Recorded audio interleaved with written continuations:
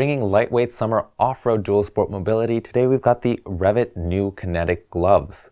So stay tuned as we take a closer look at them in our review.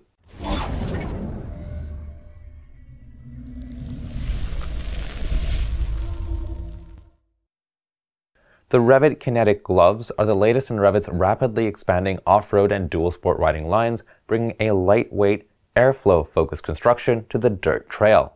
These gloves are coming with a strong mix of textile and leather construction to maximize both airflow, abrasion resistance, and comfort, while also offering a bit of extra coverage with some light knuckle safety.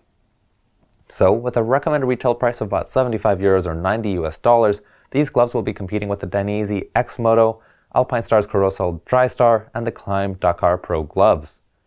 As we head into the Revit gloves, don't forget to subscribe to keep up to date on our latest reviews, guides, and data-driven helmet road tests.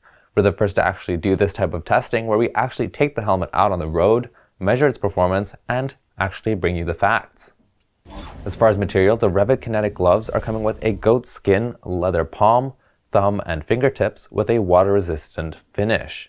The back of the hand is made of Revit's own power knit material. This is a special knit with reinforcing polyamide fibers to raise the durability of the textile material.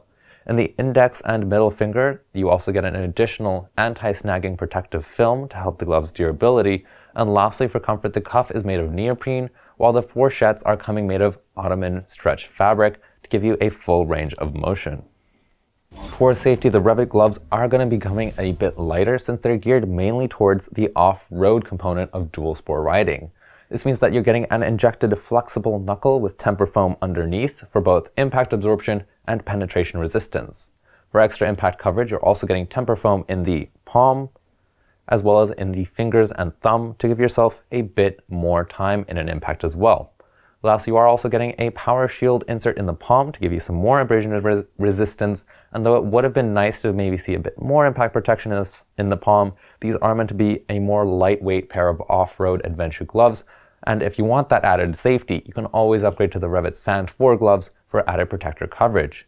Even so though, the gloves do have a CE Level 1 certified knuckle protector, which shows Revit going the extra mile for safety here, since knuckle testing is only required for reaching CE Level 2.